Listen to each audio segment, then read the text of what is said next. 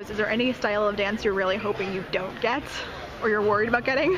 Oh man, I'm really worried about getting like Bollywood or disco and hip hop's a little bit scary too.